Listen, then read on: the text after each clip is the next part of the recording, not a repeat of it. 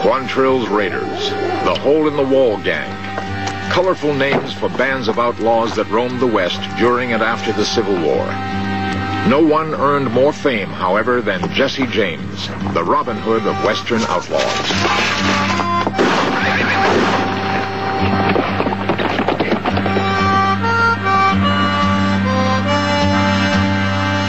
Most historians maintain that Jesse was killed six years after his doomed Northfield, Minnesota raid. Yet in 1948, J. Frank Dalton claimed he was Jesse James. Is it possible that Jesse James could have perpetrated a hoax on the entire country for over 60 years? Jesse James was a lad who killed many men. He robbed the Glendale train. And he stole from the rich to give to the poor. Everyone knew of his name. Jesse had a wife to mourn for his life, two children, they were brave. But that dirty little coward that shot Mr. Howard laid Jesse James in his grave. It was on a Saturday night, Jesse was alone, talking to his family so brave.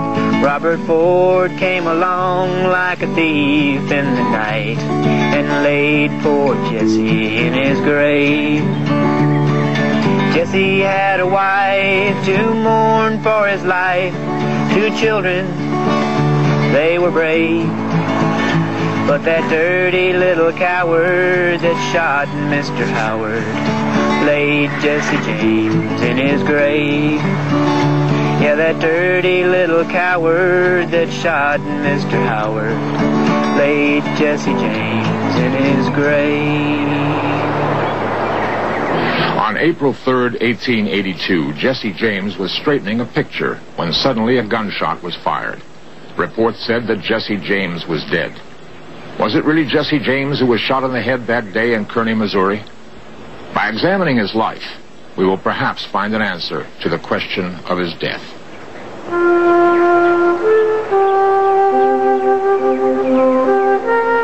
Jesse James is the only outlaw whose birthplace has been immortalized as a state monument. The house's curator is Dr. Milton Perry.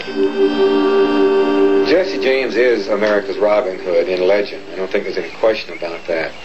The famous Robin Hood story uh, is the one in which Frank and Jesse were returning from a robbery, and depending upon where you've heard it, it could have taken place in Missouri or Arkansas or Kentucky or, or wherever.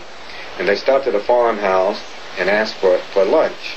The farm lady, and that was a custom at the time, consented and was fixing their meal. And while she was doing this, they noticed she was crying. And they asked her the reason why. And she said that she was a widow with two young children, and that the house was was was uh, mortgaged, and the mortgage would be foreclosed that afternoon. So Frank or Jesse supposedly uh, tell her that they are Frank and Jesse, and they would like to help her pay off the mortgage and they ask her how much it was. She named the sum. They gave her the money. They left. The banker came. The mortgage was paid. It was burned. But strangely, on the way back, the banker was ambushed by two masked men who stole all the money he had. John Quantrill led a group of ex-Confederate raiders of which Frank and Jesse were members.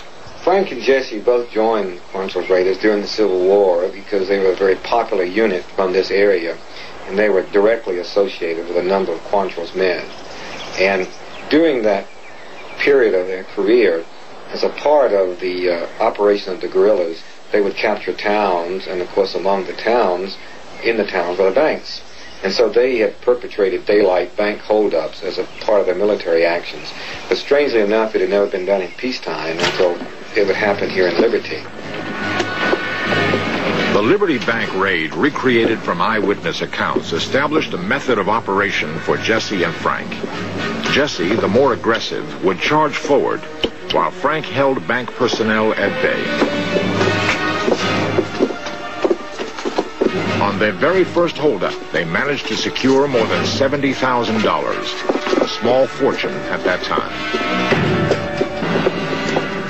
It gang was probably originated with Frank and probably at Frank's instigation along with, with other people.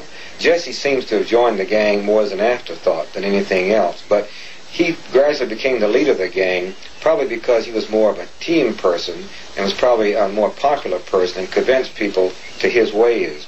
Jesse was much more outgoing than Frank, very friendly, had a very strong sense of humor, and was a very easygoing person and had a lot of friends and knew a lot of people.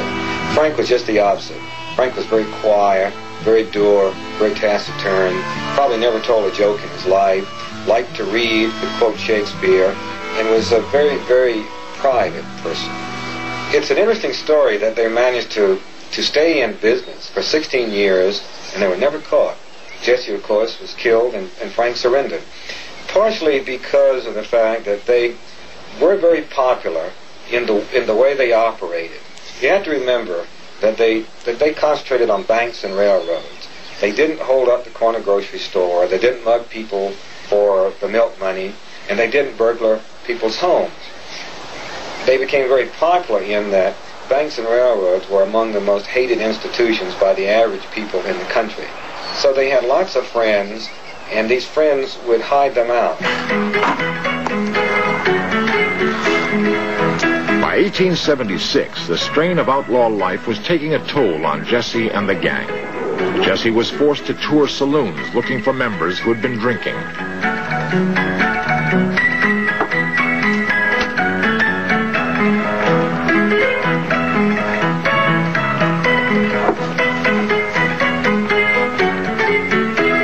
The risk of being seen in town before a job cut the odds of getting away. Jesse was afraid that someone might recognize them and set up an ambush.